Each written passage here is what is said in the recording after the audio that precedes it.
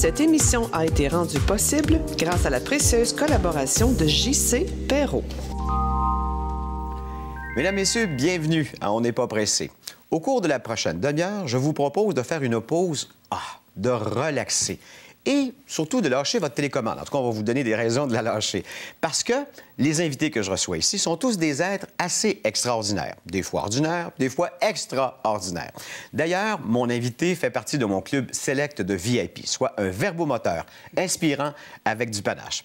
Alors, installez-vous confortablement parce qu'ici, on n'est pas pressé.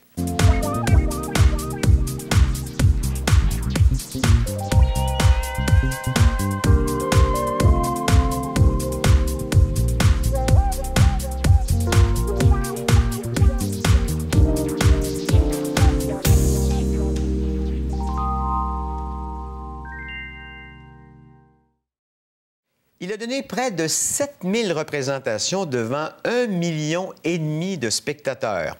Il a écrit quatre livres, fait huit disques, et pourtant, il n'est ni humoriste, ni chanteur, ni magicien. Mais c'est un gars qui a un gros GBS. OK, c'est le gros bon sens. Mon invité, Jean-Marc Chaput.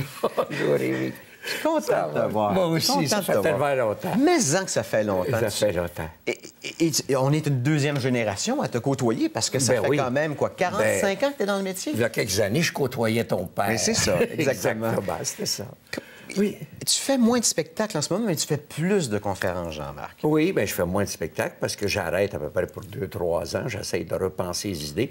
Puis la dernière, j'avais 80 quand j'ai arrêté. Alors j'ai dit, bon, ben là, peut-être. Mais euh, je veux dire que c'est- grisant de trouver des nouvelles idées. Et ça, pour moi, c'est intéressant. D'autant plus que l'actualité te transporte. Tu as tellement d'affaires que tu peux parler. C'est tous les jours, quasiment. t'as l'embarras du choix, c'est l'embarras du choix. Mais l'embarras du choix, de dire, me semble que le gros bon sens n'y est pas. me semble qu'on n'enseigne pas la bonne affaire. me semble qu'on on s'est éloigné de certaines choses qui ont toujours existé. J'ai eu la chance de faire un voyage. Je suis allé en Grèce. C'est mon premier voyage. Et tu arrives en Grèce, à Athènes, tu es en face de l'Acropole. 2000, il y a 2600 ans, on a construit ça. Puis tu regardes ça, puis tu dis, c'est tellement beau, c'est démoli un peu, puis ils sont en train de le refaire. Mais c'est beau, c'est harmonieux, etc. Mais c'est surtout, ces gens-là, voilà 2600 ans, font une découverte extraordinaire. Tout homme est libre de décider pour lui-même. Puis c'est le berceau de notre démocratie. Tout homme est libre de décider pour lui-même. Puis D'ailleurs, ça Et- va pas bien en Grèce en ce moment. ben non, puis pourtant, c'est là que ça s'est Oui, fait. Tu sais, tu te promènes, puis tu vois l'agora, puis là, tu te rends compte tout à coup, ça se faisait au grand public. On discutait philosophie. Quand tu penses que Socrate posait tellement la question pourquoi au lieu de comment, que Platon s'est exilé pendant dix ans en Asie et voulait pas en entendre parler. Puis on a tué Socrate parce qu'il était fatiguant, c'est pourquoi. tu verrais tout ça aujourd'hui, une affaire de. C'est incroyable. T'as toutes sortes de bébelles de même qui te réveillent tout à coup. Puis je me rends compte que, mon Dieu, j'en ai encore des choses à faire et à dire. Je veux parler de toi parce que, bon, il y a toute une génération qui te connaît peut-être pas, celle qui est plus jeune, Oui. celle des nouveaux. Oui. Euh, je disais ça à mes enfants ce matin que j'allais faire une entrevue avec toi, puis ils ne te connaissaient pas. Euh, tu as une richesse avec un bagage. Comment est-ce que tu t'adresses à cette nouvelle génération-là? Parce que je sais, entre autres, que tu es bien branché sur les réseaux sociaux. Oui. Tu leur dis quoi, ces jeunes-là, aujourd'hui? Il y a quelque chose que j'ai appris en vieillissant et qu'on apprend. Plus tu vieillis, on dirait plus tu l'as. C'est qu'il y a une, une certaine nécessité de temps pour gagner. Et que ça sert à rien de tirer sur des carottes pour les faire Non, pousser. c'est ça. T'as beau tirer, ils vont pousser toujours au même rythme. J'ai essayé à la campagne, les semis trois semaines d'avance, j'ai des carottes en même temps que tout le monde. Ça marche pas. Et des humains, c'est pareil. Autrement dit, il y a des choses que tu comprends à 21 ans mais c'est un peu limité. T'es blanc ou noir. Un enfant, c'est blanc ou noir. Mais quand tu arrives vers 40, il y en a un peu plus. Tu comprends un peu plus. Quand tu arrives à 50, 60 ans, là, tu te rends compte tout à coup, ben, c'est vrai qu'on peut. On n'est pas obligé de décider tout de suite. On peut prendre la journée. Il y a une sérénité qui s'établit qui est ce temps-là. Ce que je dis aux jeunes, vi- vivez J'ai un petit gars chez nous, ben, un petit gars. Il a 21 ans. Mon, mon petit-fils qui vit bébé. chez nous. Mon bébé. bébé, ouais, il a 21 ans. Et c'est toujours blanc et noir dans sa vie. C'est vrai. C'est un pas bon ou c'est un, un dieu. C'est un pas bon, c'est un dieu. Entre les deux, il y a des moitiés dieux Ouais, pas bons, puis il y a des affaires. bien Mais sûr. ça, je dis, c'est bon que tu continues. Continue. Puis il choque. Ah, c'est effrayant. Moi, ça vient me chercher parce que je me dis, hey, tu Mais, mais te reconnais-tu en lui un peu? Oh oui, Là, je me reconnais. Me impétueux comme lui? Oui, j'étais impétueux. Puis je le suis encore. Ma femme dit souvent que je suis, je suis impatient. Puis c'est vrai que probablement. Es-tu un grognon? Euh, Ça t'arrive-tu? grognon-. Peut-être faudrait demander à ma femme. Mais euh, peut-être qu'en vieillissant, euh, il y a des choses qui me, me repoussent le poil plus un peu. Mais ma femme a sorti une phrase l'autre fois extraordinaire. Je l'ai dit à la TV. Oh, ça va être drôle, ça. Retenez-la, elle est bonne. Ah, je la prends en note, là. Moi, j'ai eu une, euh, une mère écossaise, donc qui parlait seulement anglais. Donc, ma langue maternelle, c'est l'anglais. Et j'ai appris le français, puis je parle en français. Ma femme, l'autre fois, a sorti parce que je lui expliquais quelque chose. Elle dit, Je comprends pas. Elle dit C'est-tu ton problème, toi? C'est que tu penses en anglais, tu parles en français, puis tu agis en parler. puis ça- on, on a gardé ça dans, on ça dans la maison. Parce que c'est vrai qu'il y a des grands bouts, je pense en anglais. Je pense en action. L'anglais, la langue anglaise, c'est une langue d'action. Oui, c'est pas vrai. une langue de floriture. C'est une langue. et C'est vrai que Shakespeare, etc., Ah, il y a eu oui. des grandes de la grande littérature, mais malgré tout, c'est bouger.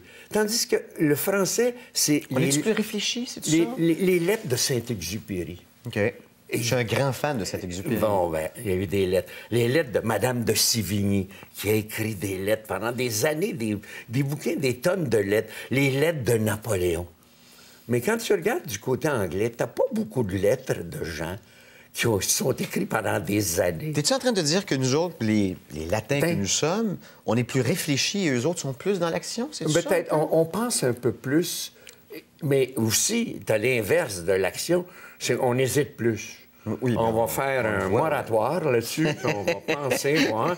on n'est pas sûr que ça va être bon, puis euh, on va faire un sommet. tiens. Faisons un sommet. Alors, on fait des sommets, on cherche des consensus. Tu sais, des grandes tambronnes dans une grande salle d'hôtel, ça fait des maudites de belles... Des images extraordinaires à télé. Des billes aussi, Ouais, hein, t'as l'impression que tu viens de prendre le marché, tu sais. Mais tu sais, ça, ça va. Donc, c'est un terreau fertile pour un gars comme toi. Quand Oui. tu viens jaser aux gens, leur dire ce qu'on dit, ce qu'on appelle le gros bon sens. Comment ça fait qu'on l'oublie, ça? Comment ça fait que c'est pas passé de génération en génération? Oui, quand, euh, ben, euh, ça a passé, parce que je regarde ma génération, mes, mes cinq enfants qui sont dans cinquantaine. J'ai tous mes enfants dans cinquantaine et plus maintenant. Alors, qui sont dans cinquantaine, ils ont le sens- le sens de l'action. Mais ils sont obligés de dire à leur génération, les 21 petits-enfants qui sont derrière, des fois, ben décide-toi. Euh, prends une solution, c'est peut-être pas la bonne, mais prends une décision, puis pars. Bon, j'ai l'âge de des enfants, j'ai moi-même des enfants. J'ai l'impression que j'ai pas assez encadré ces enfants-là. Je les ai peut-être trop aimés puis pas assez encadrés. Ah. Si tu- euh, Reconnais-tu ça dans, le- dans profil de tes enfants, avec raison. leurs enfants? T'as raison. Je sais pas si t'as vu le film Les Intouchables. Oui, bien sûr. Bon, ben, dans Les Intouchables, le quadraplégique Oui. euh, a une fille. Et cette fille se traîne avec un gars, puis le gars ambitionne, puis ambitionne, puis ça. Puis à un moment donné, il y a de la misère, puis ça va mal.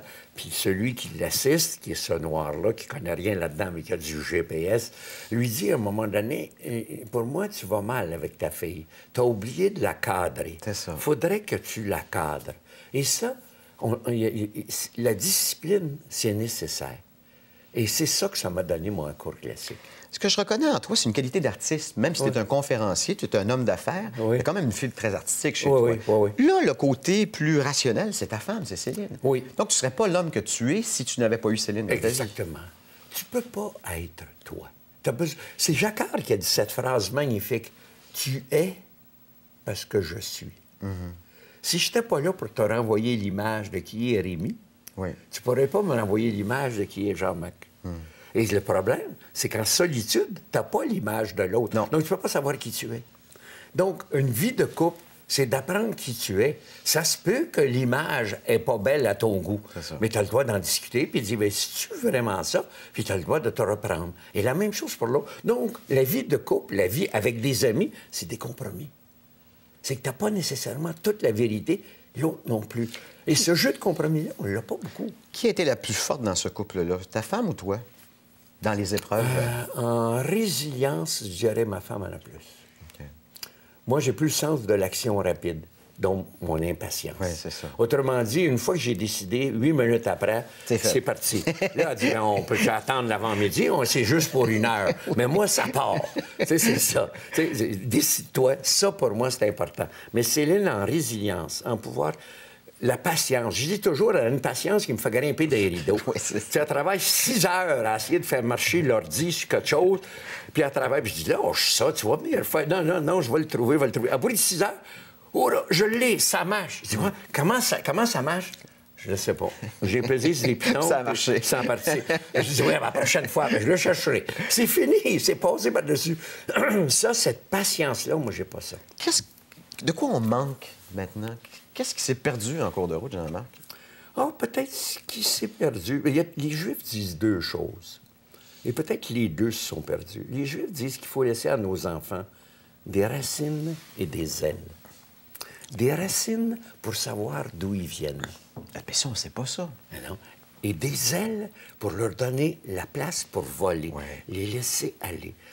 On a retenu les deux. Nous autres, les racines, nos enfants savent qu'on est adultes. Mais on ne sait pas qui on est enfant. C'est vrai. Et ça, c'était. Qui on était quand on s'est mariés. Mes enfants n'étaient pas là. Qui j'étais. Qui j'étais quand j'ai fait un voyage de C'est-tu un peu normal qu'on leur raconte pas toute notre histoire aussi? Pourquoi c'est pas, c'est c'est normal? Moi, j'ai essayé l'histoire de mon grand-papa qui passait des heures. La question qu'on c'est posait.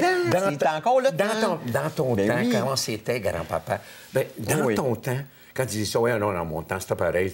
On passe par-dessus. Ouais, on donc- oublie de leur dire, on l'a, on l'a fait l'erreur, nous autres. On l'a accroché. Ça, c'est les racines. Les ailes, on les laisse pas non plus. Il y a le mot aventure dans notre vie qui n'est pas là. Non, c'est vrai. Et on ne le laisse pas à nos enfants. Mais tu sais, comment veux-tu parler à grand-papa quand il est placé dans, dans- dans un centre de soins prolongés? Ben, il y a quelque tu chose que tu peux faire. Je le sais. Tu peux aller le voir, tu peux aller jaser avec lui. Moi, j'ai fait ça avec mon grand-père. Tu T'amènes l'enregistreuse, Ouais. puis t'apprends note. Ouais. Moi, j'ai un, gars, un, un beau-frère, 90 ans. Il écrit sa vie chapitre par chapitre. il envoie un chapitre, à peu près tous les mois, deux mois, à ses petits-enfants et petits-enfants. Puis il lit ça. Puis ils lisent. C'est grand-papa. La lettre de grand-papa. Qu'est-ce que c'était? Vient de Chicoutimi. Qu'est-ce qu'il a appris? Qu'est-ce que c'était? La vache derrière, etc. C'est ça un peu. Les racines. Les, les racines, effectivement, on s'est tellement, euh, on a tellement oublié nos racines. Euh, Une vie d'amour et d'épreuves de Jean-Marc Chaput, je le lis ici, c'est le livre que tu as lancé l'année dernière. C'est des racines. C'est les racines, c'est justement. C'est le récit de ta vie. Ça aurait pu J'ai faire euh, hési- j'ai 12 000 hésité pages, écrire dire. ça, Rémi. J'ai Ouais. hésité parce que je trouve ça un peu pédant, écrire sa vie. T'as raison. C'est un exercice un peu narcissique, effectivement. Narcissique. Ouais. Alors, moi, je l'ai écrit en me disant, ben de toute façon, ça fait quatre ans que vous m'en parlez, cinq ans, bon, je vais le faire. Mais quand j'ai envoyé les manuscrits à mes, à mes enfants, qui sont des, des adultes, Hmm. les, les résultats, un fils qui m'a dit, papa, j'ai lu ça en fin de semaine, tombé en bas de ma chaise. Fait qu'il savait pas tout. Ça va pas, ça va pas. J'ai jamais. ré- J'ai un fils qui m'a dit, j'ai jamais réalisé qu'un jour, tu étais un petit gars, blotti dans les bras de ton papa. J'étais pas là. J'ai jamais réalisé comment toi puis maman, vous êtes tombés en amour 18 ans qu'elle avait. J'avais 20 ans. Jamais réalisé. Jamais réalisé qu'est-ce que c'était les noces à ce moment-là. Qu'est-ce que c'était un voyage de noces en 53? C'est vrai. Eh oui, je l'ai mis dedans, puis il était en détail à part de ça. C'était en char ou en train dans ce Là, temps-là? C'était une auto, c'était un confrère de- d'université qui m'a reconduit. Mais je leur ai dit comment j'avais jamais couché avec ma femme avant. Ça se faisait pas. Hmm. Non, à. Bon, ben à l'heure actuelle, mes petits-enfants tombent en bas de leur chaise. Grand-papa, tu ne savais pas? Je dis non. Puis maman non plus. Mais je vous avais manqué quelque chose d'extraordinaire. Mais pour vivre ou lire, en fait, devrais-je dire, Une vie d'amour et d'épreuves de Jean-Marc Chaput, c'est ça Ouais, le livre. C'est la vie de 80 ans avec ma femme. Exactement.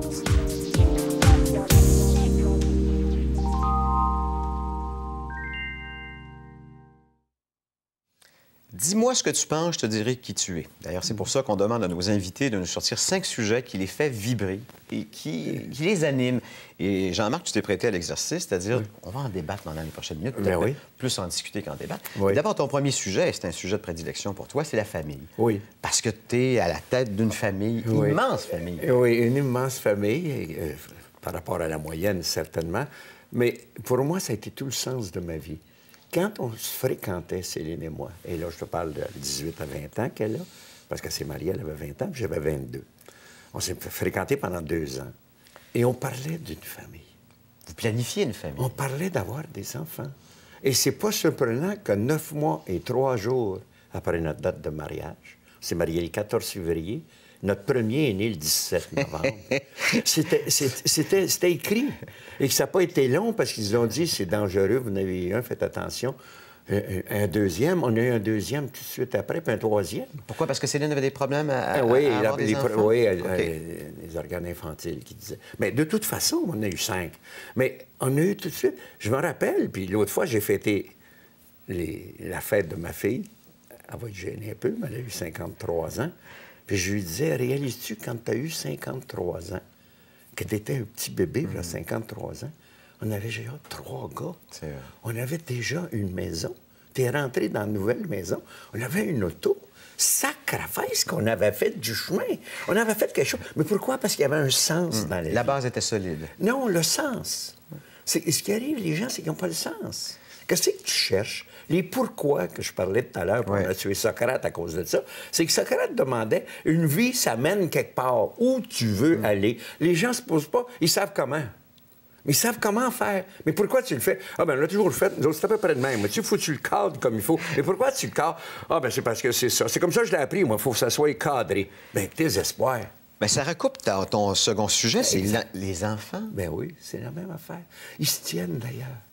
Une famille. C'est ciment d'une famille, les Ben, enfants. ben, la preuve, c'est que j'ai un fils qui est homosexuel. Ça fait 30 quelques années qu'il vit avec le même gars. Ben, il a adopté deux petites filles, deux petites Québécoises. Deux petites Québécoises qui ont 7 ans maintenant, qui sont magnifiques. Camille et Jeanne, c'est fantastique. Et ces deux petites filles, puis ces deux gars, deux homosexuels.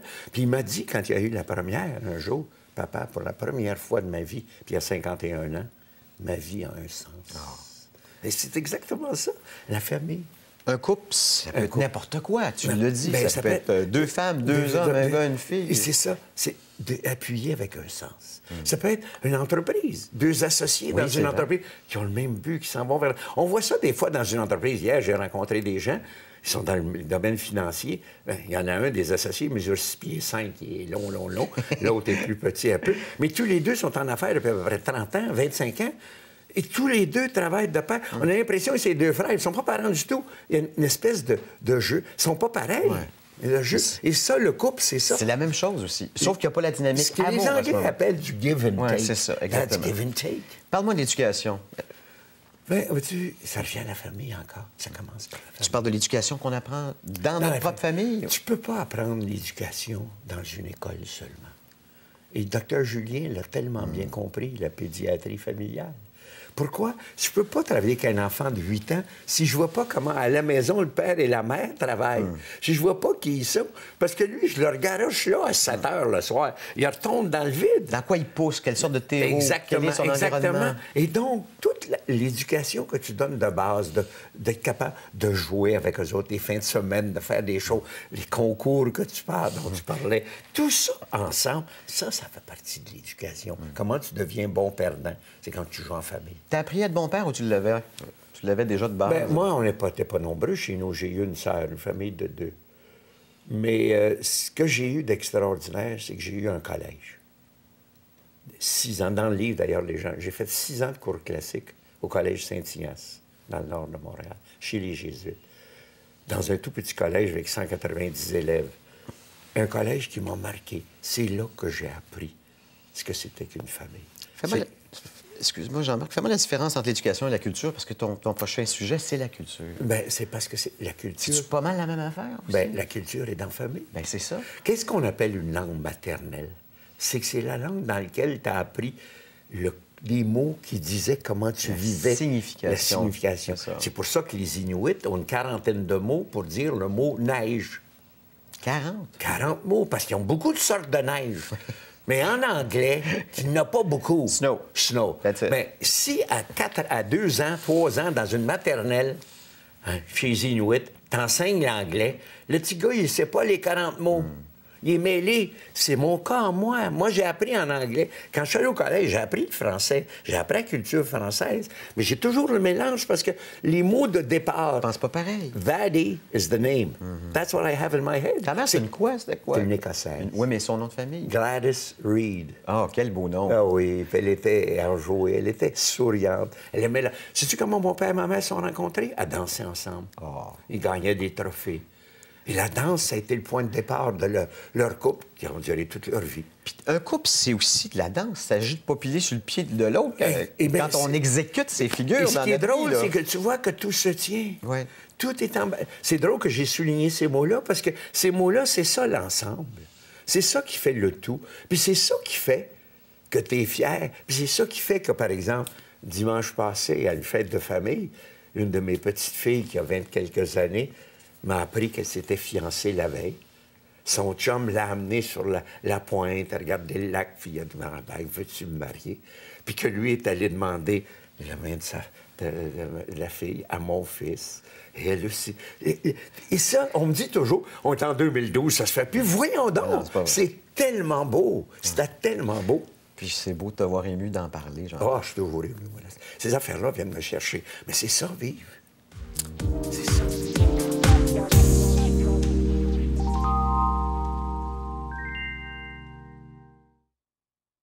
La beauté de cette émission, c'est qu'à la fin, avec notre invité, il ne reste plus rien. On a tiré tout le jus que l'on pouvait de tirer de cet invité-là. D'ailleurs, ça s'appelle, ce bout-là, bon jusqu'à la dernière goutte, Jean-Marc. Bon, jusqu'à la dernière goutte. En rafale, 10 questions, tu me dis ce que tu penses, OK? Puis je, je l'ai fait, euh, je l'ai taillé sur mesure pour toi, OK? OK. Parce qu'on on va parler de la réussite et de l'échec. Qui est, en- dans le fond, les, grands, les deux grands pôles de ta vie? D'abord, un, un échec en affaires De qui a fait la réussite de ce que tu es aujourd'hui comme conférencier. Outre en affaires ou en, ou en amour, où crois-tu avoir le mieux réussi? En amour. Oui. Ah Pourquoi, justement? Parce qu'elle a duré. Parce qu'il n'y a jamais eu d'échec.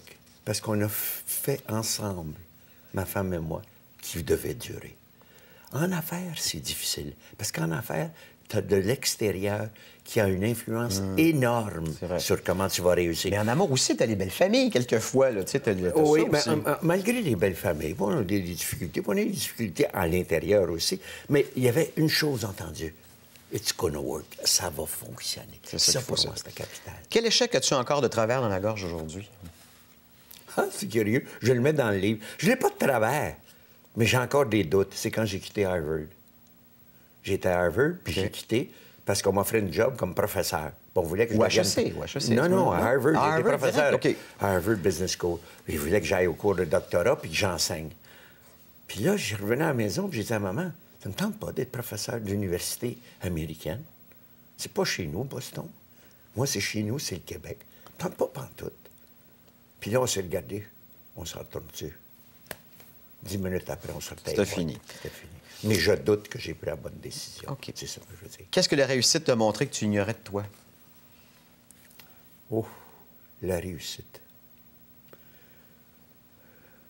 Euh, C'est difficile, ça. Qu'est-ce que la réussite? Parce que je vais aussi poser questions réussi. sur l'échec. Qu'est-ce qu'elle m'a montré, la réussite? C'est qu'un humain, ça ne s'habitue pas à réussir.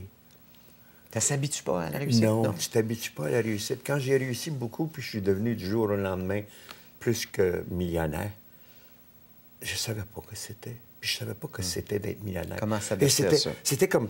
J'ai rien changé, j'ai gardé la même voiture, la même maison, j'ai gardé les mêmes affaires. Ce qui a fait que les gens et mes enfants ne se sont pas aperçus beaucoup de, Du changement. du changement.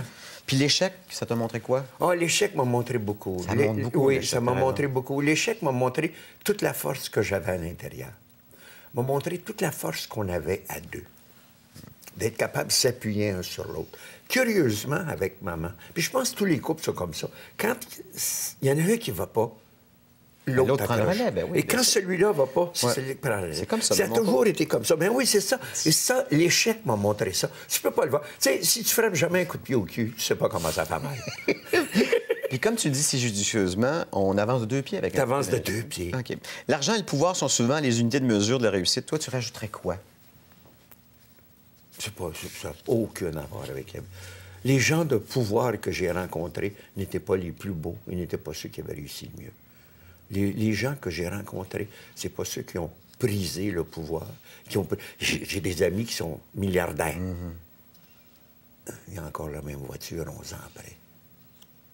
Qui doutent encore. C'est ça d'être riche, dans le fond. Ben, c'est- ça n'a rien à voir. Ce qui est le fun, c'est d'avoir des belles ça. choses. Bon, en rafale, qu'est-ce qui est le plus dur? Se relever d'un échec ou continuer un succès? Continuer un succès. Le cordonnier est toujours le plus mal chaussé. Où en arraches-tu toi-même dans tes propres enseignements, Jean-Marc? Et sacrifice d'avoir la patience, le calme, de laisser une chance à l'autre. Je suis tellement lourd par bout. Ah ouais. Tellement lourd dans mes remarques. Faire attention d'être moraliste. Je l'ai été probablement C'est l'éducation, ça, qu'on transporte souvent. Oui, les jésuites. J'allais ma- quasiment te le dire. et ma femme, ma femme m'a dit, tu sors, t'es sorti de chez Jésuite, on n'a Oui, pas mais- sorti de Jésuite de toi. c'est exactement ça. Qu'est-ce que l'argent ne t'a jamais permis d'acheter? Aimer. Ou aurais-tu ben, auras-tu laissé plus d'argent ou de souvenirs à tes héritiers? Plus de souvenirs. Et dernière question, laquelle de tes réalisations te fait monter les larmes aux yeux en y pensant? ma famille. L'amour. Ma femme, euh, ma femme, ma mère avait une expression extraordinaire. Elle disait à, ma femme très souvent, elle, elle parlait mal le français, mais elle disait Petite fille, rappelle-toi, les enfants, ils partent. Ton mari, il reste. C'est être ensemble. 60 ans. Ça fait 62 ans qu'on est ensemble. Ça, c'est la plus belle réussite. Là, euh, avec tout ça, avoir le temps des fêtes. Oui. Tu vas rester ici au Québec? Non, on prend des vacances. On va part euh, pour deux semaines avec une famille, ma- la famille de mon fils, mon aîné, Patrick. Il a huit enfants. Même père, même mère. Lui-même? Lui-même, il a huit enfants avec la même donc, femme. cinq. Ils sont tous frères et sœurs Oh, ensemble avec les, extraordinaire. les- les conjoints, etc. Ça, ah, et ça fait un plaisir Fait extraordinaire. que tu t'en vas en Floride puis tu reviens. c'est Oui, je fais ça en voiture avec maman comme un pèlerinage. Et que ça m'a fait du bien encore de faire ce- cette entrevue avec toi, fait cet plaisir. échange. Est-ce qu'on va te revoir sur une scène? Il me semble que ça fait un petit bout de temps. que- Ben, 2010, c'était la fin au Jésus. D'ailleurs, c'était le fun au Jésus parce que c'est là que j'ai eu mon diplôme de mon bac en SR des Jésuites. Et dans la salle. Parce que c'est l'église en haut. ben oui, et c'est le Collège Sainte-Marie. Et dans la salle à l'arrière, j'avais ma future femme, Céline. Et j'ai fait en 2010 la conférence là. C'était incroyable, je la voyais comment c'était. Ah, c'était beau, c'était magnifique. Mais là, tu fais surtout quoi? Des conférences? Là, beaucoup. J'en fais beaucoup. J'en fais énormément. Je l'ai fait neuf en octobre avec un voyage de 15 jours. J'en fais trois en décembre. J'en ai fait huit en... ça roule. Ça, ça, ça, ça va très bien. dans- Mais ce qui me fatigue un peu, c'est les questions que les gens me posent. Quand ils me rencontrent, ils se disent Jean-Marc, à l'âge, 82. Ah! Tu travailles-tu encore? Ça, ça me tombe ses nerfs. Travailler, c'est quoi? Pic papel, je faisais pas ça. Non, non. Mais des conférences, j'en fais encore. faut le dire aux gens, oui, j'en fais, puis j'ai du plaisir à en faire. Puis vous avez besoin d'un conférencier, j'en fais, puis j'ai beaucoup de plaisir à Puis au bas de l'écran, il y a l'adresse euh, justement pour euh, rejoindre le site Internet de notre invité Jean-Marc Chaput. Alors, jean-marcchaput.com. Il y a le livre Une vie d'amour et d'épreuves aux éditions de la semaine. Et puis, ben, le temps des fêtes qui s'en vient pour toi, puis bon, des voyages, et ainsi de suite. D'ailleurs, si vous avez des commentaires à faire euh, au sujet de nos invités, des suggestions, vous avez besoin d'informations, n'hésitez pas à aller sur notre page Facebook. D'ailleurs, vous pouvez aussi y retrouver celle de Jean-Marc Chaput. On va d'ailleurs mettre le lien. Notre invité de la semaine prochaine sera nul autre que la chanteuse Pierre Bellan, qui est une grande amie et qui va faire un beau comeback en 2013. Et je vais finir ça avec une citation qui m'a été inspirée à cause de toi, bien sûr, ou je devrais dire grâce à toi. Oui. Il y a plus de courage que de talent dans la plupart des réussites. Et t'as tellement C'est raison. vrai, hein? Ouais. 10% de talent, 90 de sueur. Et ça donne ce que vous avez vu. Une belle vie remplie, une vie d'amour et d'épreuves, mais maudit que c'est une belle vie. Merci. Merci, merci beaucoup.